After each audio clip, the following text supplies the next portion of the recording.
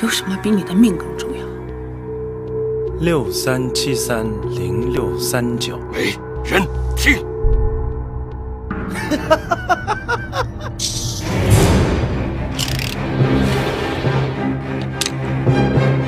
医生是专业，但有的事我们控制不了的。病人的命在我们手里啊，关乎生死。你当了这么多年警察，什么时候见过贼爱兄弟不爱黄金的？警察低头啊！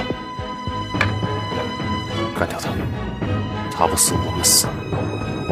你根本就不知道你情况有多严重，这么做是为了救你。